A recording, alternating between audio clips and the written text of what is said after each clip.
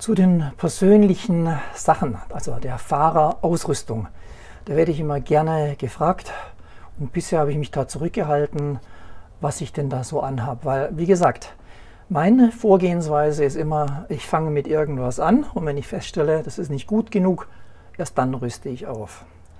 Es gibt andere, die fangen von oben an, die nehmen nur das teuerste. Ja, das ist Geschmackssache, wie man es macht. Also wie gesagt, ich gehöre zu denen, die machen Step für Step, kommen nach oben, bis es reicht und mit dem gesparten Geld, mit dem gesparten Geld, da kann man natürlich wunderbar reisen, für Benzin, für Übernachtungen, für einfach für Erlebnisse. Da gebe ich es einfach lieber aus als für Hardware. Hardware nur das Nötigste. Und auf dem Weg mit dem Verbessern der Hardware da macht man ja so einige Erfahrungen. Also, was trage ich? Zunächst einfach lange Unterwäsche, Skiunterwäsche, lange Unterhose, langes Unterhemd, lange Socken. Warum ich das mache? Nun, das mache ich seit über 30 Jahren. Ich war ja früher Redakteur beim Motorradmagazin bei Mo und da sind wir auch auf Rennstrecken gefahren. Und der Punkt war einfach erstens das Thema Sicherheit unter so einem Ledereinteiler. Da verdreht sich nichts und reißt uns keine Haut weg vom Fleisch. Äh, deshalb diese Skiunterwäsche. Aber das zweite ist einfach der Komfort. Wenn es da draußen 30 Grad und mehr hat, so wie heute, es ist wahnsinnig schwül, ist fast wie in den Tropen, dann schwitzt man einfach viel weniger und das Zeug bleibt trocken und man kriegt keinen Zug. Also ich finde es total angenehm. Und auf Reisen ist der dritte Vorteil, abends schnell durchwaschen, über Nacht trocknen lassen, es am nächsten Tag eigentlich trocken. Was trage ich dann über den langen Sachen? Als erstes dieses Teil. Ihr seht den Namen des schwäbischen Herstellers. Das ist so eine Protektorenweste. Die hat keine Ärmel, die ist aber unheimlich stabil. Die hat hier hinten nicht nur was dran, das lang genug ist, sondern die hat auch seitlich, da ist es hart, da ist es hart. Also aufgerüstet, nachdem ich mir die Rippen angeschlagen habe beim Beta-Alpfahren vor ein paar Jahren. Also, dann wird Geld investiert. Das ist eigentlich ein ziemlich gutes Teil. Ob dieser Art Nierengurt, der schon ein bisschen arg warm bei 30 Grad, weiß ich nicht. Ich glaube, ich lasse den drin. Aber so ganz 100% glücklich bin ich nicht, sonst Top-Teil. Warum ich die Ortema ohne Ärmel gekauft habe und ohne Protektoren da drin, nur ganz einfach. Ich hatte schon welche. Ich habe mich ja damals in England, Rat der Freunde, eingedeckt. Das entspricht ungefähr Standprotektoren Dainese 90er Jahre, also außen abweisend, innen minimal gepolstert. Und das macht man einfach über zwei Klettverschlüsse. Das hier, die zwei Teile gehen um die Ellbogen rum, die zwei Teile, die gehen um die Knie rum auch hier wieder hart. Das ist letztendlich Dainese. Das ist nichts Überragendes, aber ich fahre ja auch kein Cross, sondern bin beim Enduro-Wandern, reicht seit Jahren völlig aus. Danach schlüpfe ich in eine Hose. Ganz am Anfang hatte ich eine Hose aus England von Wolfsport, aber die riss immer und zwar jenseits der Naht und meine russische äh, Olga, die Schneiderin, die konnte das nicht mehr reparieren. Also das Zeug war einfach bescheuert. Und ich habe dann auch nie wieder was aus E-Mail gehört, habe ich mal ein Video drüber gedreht. Hat mich ziemlich geärgert, wie man da in England behandelt wird. Auf jeden Fall habe ich dann was in Nürnberg selbst gekauft. Da kann man nämlich beim Motorrad TAF das Ganze anprobieren. Und meine Vorgabe war, ich muss mich bewegen können. Ich fahre ziemlich obeinig auf den Maschinen und ich bewege mich sehr stark aus der Hüfte raus. Und das muss einfach unten weit genug sein. Und das ist jetzt ein, was ist das überhaupt für ein, ah, Revit. Revit ist, glaube ich, Holland. Die ist sehr beweglich. Die hat hier Lüftungsschlitze und ein paar Öffnungen. Ist also nicht ganz so heiß. Und was ich auch angenehm finde, die hat innen so eine Art Leder, dass sie mich ein bisschen am Tank festhalten kann. Gerade bei so einem dicken Tank wie der Transalp ist das ganz praktisch. Äh, was ich noch hingemacht habe, ist ein Hosenträger. Freunde haben gesagt, kannst du den von Louis kaufen, der ist pumperl gut und der, be, der behält einfach seine Form hierbei und ich muss die Hosen nicht immer komplett bis in den Schritt hochziehen. Die werden durch diesen äh, Hosenträger wunderbar gehalten. Also ich bin ganz glücklich mit dieser Kombination und ich kann mich bewegen. Und die habe ich jetzt seit, ich glaube, eineinhalb Jahren. Und ja, schöne Hose. Aber klar, wesentlich teurer als das Teil aus England. Die Stiefel. Ja, Stiefel sind immer ein Kompromiss. Wie ihr seht, das sind sogenannte Trial-Stiefel. Die sind hier vorne, also nicht mit einer Stahlkappe, die haben auch hier keine Stahlkappe. Die sind hier unten nicht 100% super stabil, aber dafür kannst du gut gehen und du spürst auch Sachen. Und die sind auch hier beim Abknicken, es ist, ja, ist deutlich stabiler als ein sogenannter ADV Adventure Stiefel, deutlich stabiler, aber ein Crosser ist halt noch mal besser. Und die haben hier eins, zwei, drei Schnallen, die lassen sich wunderbar einstellen. Die haben hier vorne irgendwas, falls man im Unterholz an irgendwas gerät. Ähm, ich fahre die Stiefel jetzt seit fünf Jahren. Ja, genau diese Stiefel. Und die heißen Reiners, kommen aus England. Und die sind relativ günstig. Gekauft habe ich die bei Kivo. Das ist in der Nähe von Heidelberg. Das sind so Trial-Experten. Und die Schuhe selber sind nicht wasserdicht, aber die lassen sich hier mit so einem Fett gut behandeln. Und naja, ich bin im letzten Herbst von den Pyrenäen, der letzte Tag zurück zwischen Heilbronn und Nürnberg war Starkregen, wie ich den noch nie erlebt habe. Also ich bin mit teilweise 50 praktisch allein über die Autobahn gefahren. Natürlich sind die hinterher durch, aber da ist alles durch.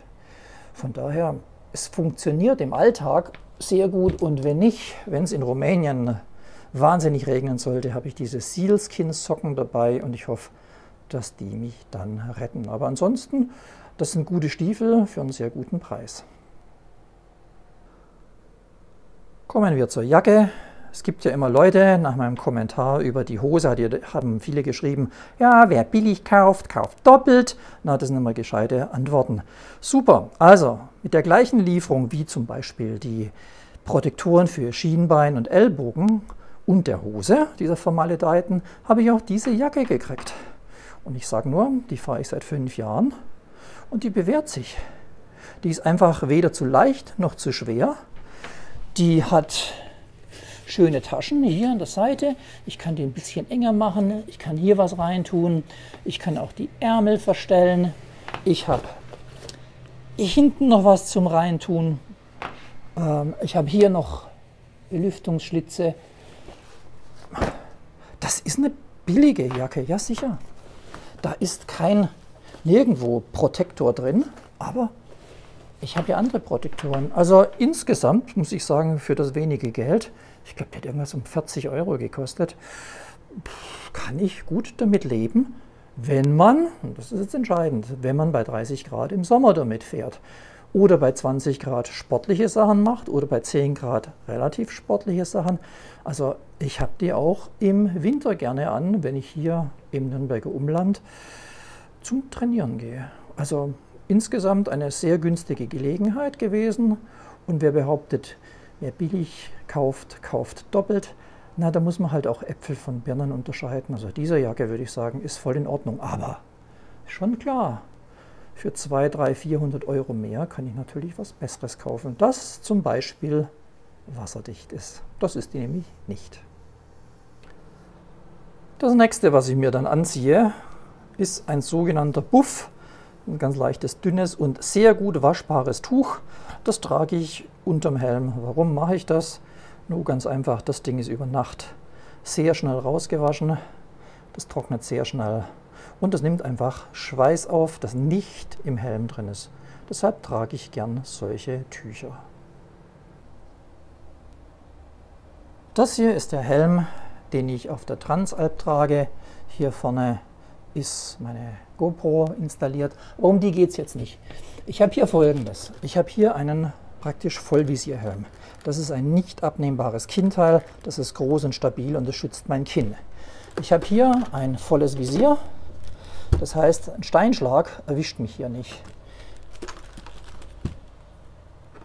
Was ich noch habe, ist hier, hier sieht man es, ein Sonnenvisier. Das kann ich hier runterklappen und wenn es sehr hell wird, und das ist im Sommer hochwahrscheinlich, dann werde ich gut geschützt. Über das Ding hier oben, da kann man geteilter Meinung sein. Das gehört ja wohl offensichtlich zum Offroad-Fahren dazu, habe ich von vielen gehört. Ich bin nicht sonderlich glücklich, weil bei höheren Geschwindigkeiten über 100 liegt das halt schon im Fahrtwind. Ich kriege keinen Matsch ab, ich fahre ja kein Motocross und der einzige Vorteil, den ich sehe, ist, abgesehen vom verwegenen Äußeren, ist, wenn es abends dunkler wird und die Sonne tief steht, dann kann ich den Kopf ein bisschen neigen und habe mehr Sonnenschutz. Also dafür lasse ich es mir angehen. Aber ansonsten naja, und natürlich kann ich hier auch Lüftungsöffnungen öffnen und da kommt ein bisschen mehr rein. Dieser Carberg-Helm, wie heißt der? X-Trace, den habe ich seit einigen Jahren. Ich bin recht zufrieden damit. Äh, warum? Der Carberg, auch da wieder, hat ein super Preis-Leistungs-Verhältnis. Es ist ein guter Helm zu einem sehr guten Preis. Also mir passt er. Und das ist, glaube ich, das Wichtigste für jeden Helm. Er muss auf deinen Kopf passen. Und darum probieren, probieren, probieren. Und der Rest, den entscheidet dann halt der Geldbeutel. Na klar ist ein Arai-Helm deutlich teurer. Ist er so viel besser? Weiß ich, weiß ich nicht. Auf meinen Helm, auf mein, dieser Arai-Helm passt auf meinen Kopf natürlich noch etwas besser, aber das ist es mir nicht wert, 500 Euro Aufpreis hinzulegen. Also mit diesem Carberg komme ich schon ganz gut zurecht. Handschuhe wichtig, ich nehme Sommerhandschuhe mit. Das sind hier ziemlich alte Dinger. Ähm, einfach, ohne irgendwas, kein Schutz drauf, reine Lederhandschuhe. Ähm, die sind eingecremt, x-mal jetzt schon über die Jahre. Die sind recht dünn, die werden wahrscheinlich Rumänien nicht überleben. Darum habe ich noch ein paar andere dabei, also Handschuhe, die die Protektoren oben haben, falls mal die Äste dagegen schlagen. Sehr dünne Handschuhe und noch äh, ein viertes Paar, die kann ich auswringen. Die sind so aus Textil. Wenn es komplett durchregnet, sind die eigentlich sehr angenehm, sehr dünn und ja, die saugen sich eben nicht so voll und werden nicht so schwer und ah, unangenehm wie Lederhandschuhe. Aber das könnte für die hier die letzte Fahrt sein und ich habe die schon rausgelegt, weil das werden die ersten sein, die ich aus dem Weg, auf dem Weg von Nürnberg in Richtung Prag zum Autoreisezug trage. Und das ist eine reine Straßenanfahrt, deshalb diese ganz einfachen Straßenhandschuhe sind pumperl gut. Das also war im Kurzdurchgang meine Ausrüstung. Ihr seht nichts Tolles, nichts Teures, kein Etepetete, aber die Dinger sind bewährt. Also letztes Jahr 14 Tage auf dem Weg in die Pyrenäen und zurück, dort bei 50% Offroad. Und hier wird das das gleiche in Rumänien auch machen. Und so fahre ich rum. Nichts Tolles, weil wie heißt das schön, nicht nur Offroad, das gilt auch Onroad. It's the rider, not the bike und auch nicht die Ausrüstung. Ja, man braucht schon ein paar Dinge, aber die Konzentrierung, die wir, wir konzentrieren uns viel zu sehr auf Hardware, finde ich. Mein Gott, ein ehemaliger Journalist, der tausende von Hardware-Sachen getestet hat, sagt nach seinem Berufsleben, man konzentriert sich viel zu sehr auf Hardware. Ja, trotzdem, da ist was Wahres dran. Wenn ich nämlich anfange, äh, ein Musikinstrument zu spielen brauche ich auch nicht das teuerste, sondern ich muss in erster Linie üben. So ist es hier mit der Ausrüstung auch. Natürlich, man braucht eine Ausrüstung, aber es ist für einen Start und es muss nichts Hochgestochenes sein. Lieber mehr üben, mehr fahren, mehr erleben. Das ist meine Philosophie. Also, viel Spaß beim Mitfahren nach Rumänien.